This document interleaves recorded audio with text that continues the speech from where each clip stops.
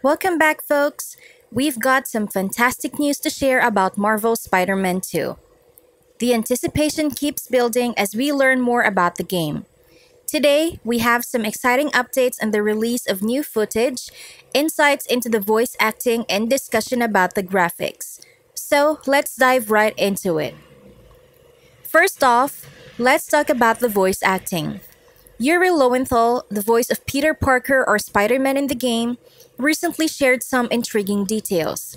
He expressed his excitement about the recently released footage and mentioned the extra effort the team put into the capturing the essence of both regular Spidey and the symbiote suit.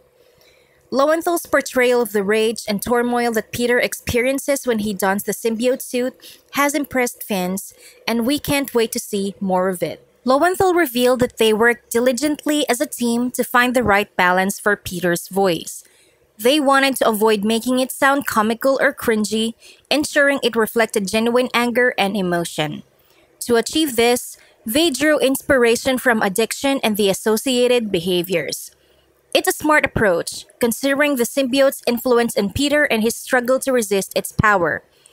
Lowenthal's past work as Sasuke in Naruto has drawn favorable comparisons to his current performance, further enhancing our expectations for his portrayal of Peter with the symbiote. Moving on, let's address the topic of graphics. Some discussions have arisen regarding a potential downgrade from the first trailer. However, let's clarify that the initial reveal trailer was captured in engine but wasn't actual gameplay. It had been enhanced to create a more cinematic experience. Marvel Spider Man 2, on the other hand, offers a larger city, enhanced traversal mechanics, and numerous new gameplay mechanics. With all these advancements, it's safe to say that the game will push the PlayStation 5's capabilities to their limits. James Stevenson from Insomniac Games directly addressed these concerns and reassured fans that there has been no graphical downgrade so let's appreciate the stunning visuals and give credit where it's due. Now, on to the question of when we can expect more footage from the game.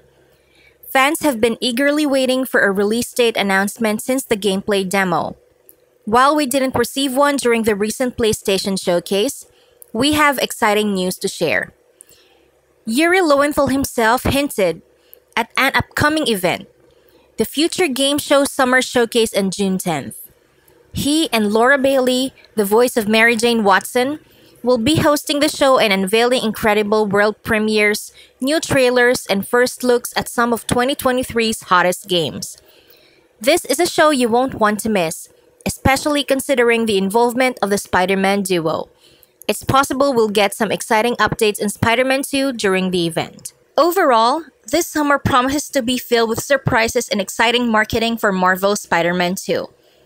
If Tony Todd's earlier statement about the game potentially releasing in September is accurate, then we're in for a thrilling and action packed month. So mark your calendars and get ready for an incredible gaming experience. We'd love to hear your thoughts on all the news we share today. What aspect of the game are you most excited about? Is it Lowenthal's comments about the symbiote suit and his voice work, the confirmation of no graphical downgrade, or the upcoming event on June 10th? Share your opinions in the comment section below. If you enjoyed this video, don't forget to hit the thumbs up button. Thank you for watching and as always, I'll catch you in the next update. Stay tuned for more exciting news and updates on Marvel's Spider-Man 2. Until then, take care and keep your spidey senses tingling.